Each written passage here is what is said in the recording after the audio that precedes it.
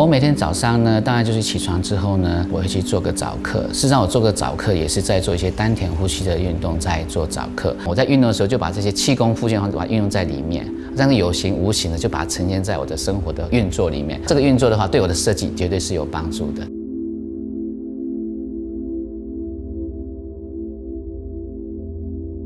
我的早餐事实上也是很简单啊，大概就是一个苹果啊。我们西洋有句话说，“A apple a day keep the doctor away”，我觉得这个还蛮实在的，好，就是中西通用的。你把它这样顺顺序吃完，然后再配合气能运作的话，事实上你就可以把你的一天的那个开关就把它启动了。事实上，我们讲设计。反而是说，对生活的融入才是最重要的。所以，我把这个五行运作这种古老智慧融入在这里的。其实，我做设计或做建筑，就是从内部开始之后，自然成型，不是去雕琢的，是自然成型的东西才是比较重要。讲这个微风水哦，可能我是第一个比较提出这个想法。其实这个微哈，我是把它认定就是个细腻深入的感觉。所以为什么说我会用五行来切入？因为五行最贴切生活，就是以我们基本的风水啊、八卦来形成这个五行的自然的运作的理念。空间有空间的磁场，材质有它的材质的磁场，在无形之中转换它的磁场，跟转换的这个空间环境，转换成之后呢，那你人的转换跟着就是人的风水好的话，就会带着我们我们这住的地方风水也好，风水越好的话，就会跟着这个一个正向的循环，就是希望就营造出我的正向的循环的力量，在你的生活空间里面运转。方圆天地闲事静，水木兰居运五行，一行一思一空间。心随境转，意随行。这栋建筑物呢，就是五行运行的理念在此运作。我们个建筑物这个在整个布局跟配置上呢，入口的话就是有个生态池，好，它是个水的开始。水时候呢，水生木，我的木有虚跟实的木的元素在上面。我把这前面的树影倒影在我们格栅上面。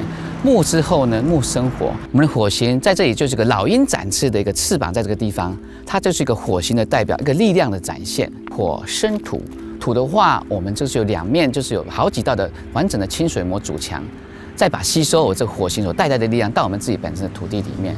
接下来呢，土生金，就是我的入口跟侧面有个椭圆形的造型，椭圆形也代表一个中西融合一个金型的代表。外观的这个一个运作上呢，水生木。木生火，火生土，土生金，不断的循环的正面能量在这不断的循环着。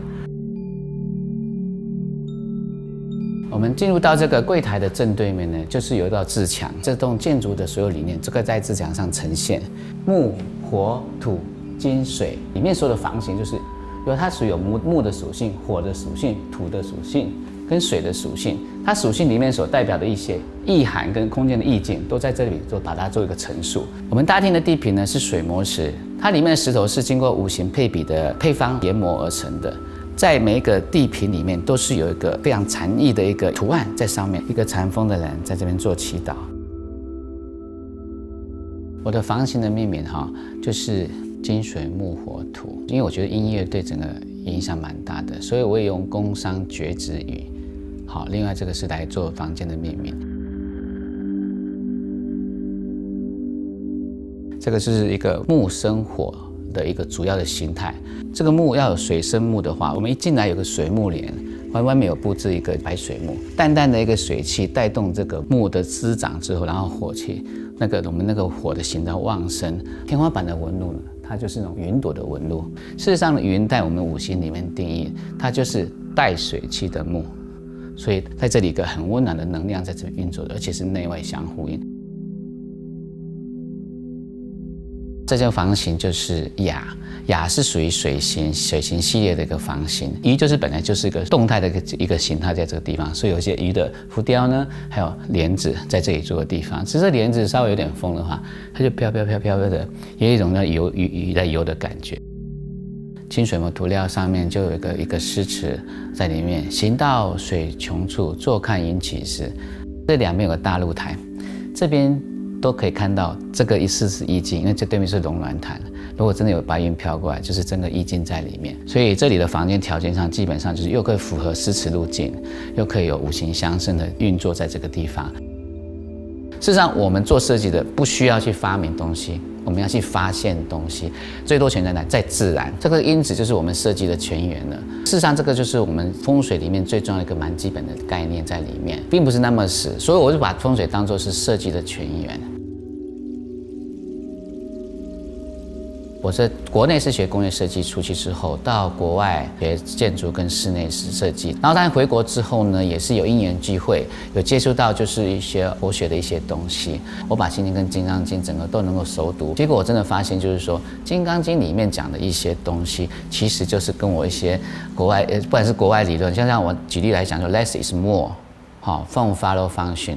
Balance 很 humble，这些东西的话，也是西方建筑里面不管是什么风的大师他们常提的这些东西，竟然在三三千年前这个我们中国金刚里面就有出现这个想法跟做法。我们可以把风水弄那么美的呈现，又把它变成是功能化的美的呈现，那是不是就是优雅质感之后，我们正面能量就带来了？要质感之后，你是不是过得很舒服、很顺畅就好？当然就不是说什么一下子就发大财，但是起码把你顺了之后，对不对？事实上，对你、对个人、对环境、对大家、对社会国家，我觉得都是有帮助的。这个就是我基本的初衷，就是希望这个正面能量能够在这个空间跟人里面更和谐、自然、个发展跟进步这样。